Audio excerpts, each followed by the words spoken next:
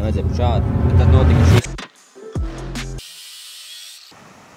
Evo vajag sačaku! Jā! Kāpēc vienmēr jābūt tā?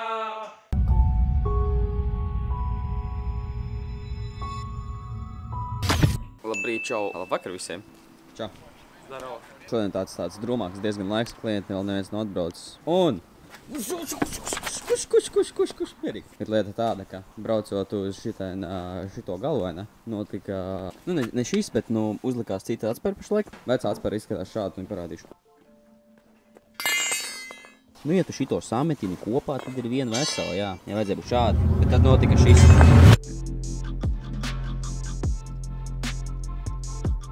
Tādēļ uh, mums nākas vienkārši pašiem pilnīgi visu taisīt un, un, un labot.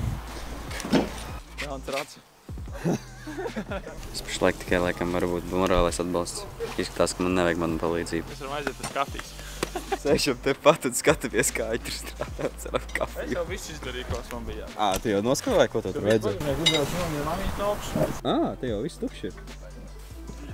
Šitas čūns nestrādā. Golfa atspēr nebūs. Nu, jā. Nu, tur būs interesanti, jā. jā. Tas ir pirmais. Mums ir tāda pornogrāfija, to viņi notiks tiešām. To? Mums ir cits diskāts.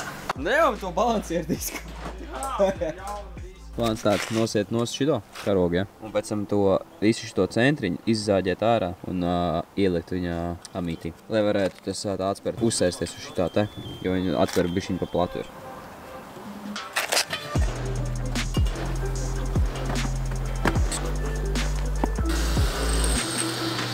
Dabūjam.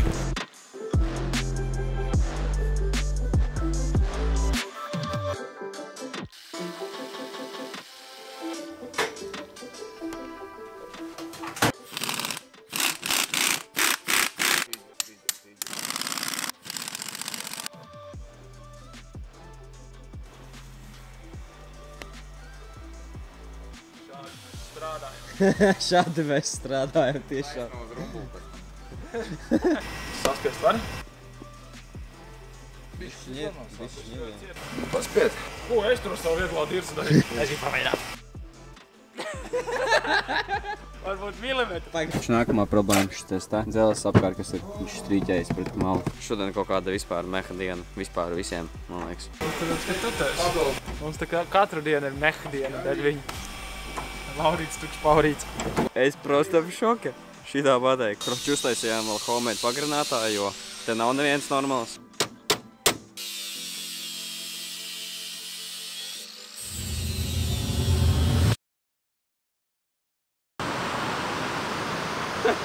Jauna diena, jauns papasiens, vai ne? Tieši tā. Kādiem brīšņiem jāiet, lai tiktu pie tevis. Cik foks. Evo, vajag, vajag sačuku tomēr. Evo, vajag sačuku.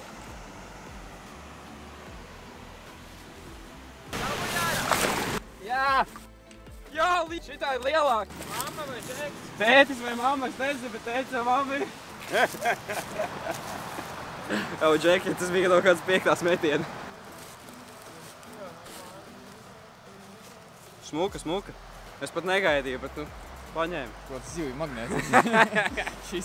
Trešā zivs Zviedrijā, klausieties, pasieties. Bet Bet sveiki vispār, vispār visiem, visiem Bulgā.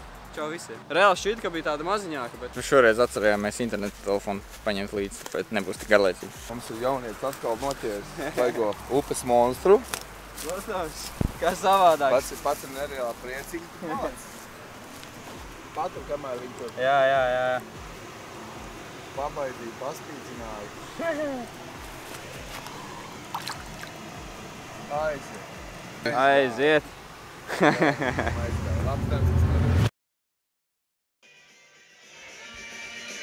Mēs svinam uh, uzvaru. Mēs vienmēr jābūt tā. Un tāpēc, ka tā ir Kanāda.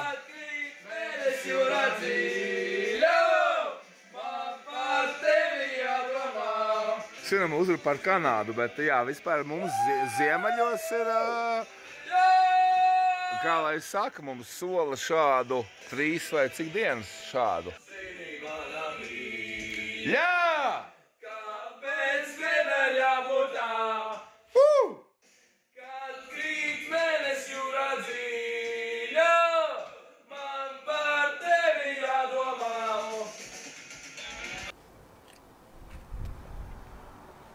Tad nu čau visiem sen es īsti neesmu paņēmis kameru, lai vienkārši parunātu ar jums un kas ko notiek, kaut ko parādīt. Jo īsti nav sanācis reāli atrast kaut kādu lietu vai kaut ko interesantu, lai pafilmētu. Tā kā mazliet parunāsim, kas īsti ir noticis. Ir noticis tas, ka sezona lēnām iet uz beigām. Un uh, mums īsti nav ko darīt. Cilvēki nemaina baigi daudz riepas un, un nav daudz klientu. Sēžam savā mazajā būtkā, spēlējam kaut kādu Minecraft spēlējumu, spēlītas un vienkārši sēžam un gaidām, kad paies tā visa diena, lai brauktu uz māju un atkal to pašu nākamajā dienā darītu, vairāk vai mazāk. Un, un, un jā, sezona lēnām iet uz beigām. Es domāju, ka šis varētu būt tas pēdējais video Zviedrijā. Noteikti filmēšu atpakaļceļu. Tad jau pēc Zviedrijas būs diezgan, diezgan interesantāk. Es domāju, ka tuvākajā laikā varēsim redzēt kaut ko pavisam citu, ne Zviedriju. Un jā, pasaules čempionāts hokeja ir sācies. Un var dzirdēt, ka man balss nav, jo aizvakardien un vakardien bija Kanāda un pēc tam Kazahstānas spēles divas, kas bija vienkārši ko mazliet balsies un mazliet zaudēts. Bet nu, ceru, ka Latvijā ar pašlaik ir ļoti silti. un Jūs man sagaidīsiet Latvijā ar ļoti foršu siltu laiku. Un tad jau arī būs ko filmēt. Būs daudz jaunumu. Man šķiet, ka daudz jaunumu. Kas būs diezgan interesanti. Noteikti. Tiekamies jau pavisam drīz nākamajā video, kurš būs more exciting. Un, un neaizmirstiet piesakot manam kanālam, ja to neesat to izdarījis. Jā, es zinu, ka pēdējā laikā nav bijuši tādi wow video. Piespiediet to laiku, pogi, tev patīk šis video. Ja tev nepatīk šis video, tad iekomentē. Pēc šā tā iekomentē, padalies ar draugiem, pasaki, es dodos drīz uz Latviju. Un, un protams, arī padalies ar pašu video. Jā, tas laikam arī viss. Es visu pateicu. Laikam, tiekās pavisam drīz. Čau! Man pēc ilgiem laikiem reāli rokas tīras, nav vairs īsti melnas. Nu, ir, protams, ir bišķi, bet nu jā. Un sāls nenormāli. Dai, čau!